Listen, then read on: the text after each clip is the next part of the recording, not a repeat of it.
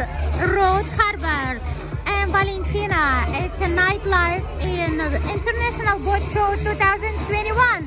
Fort Lauderdale. We are rocking this show together with my friend Tatiana.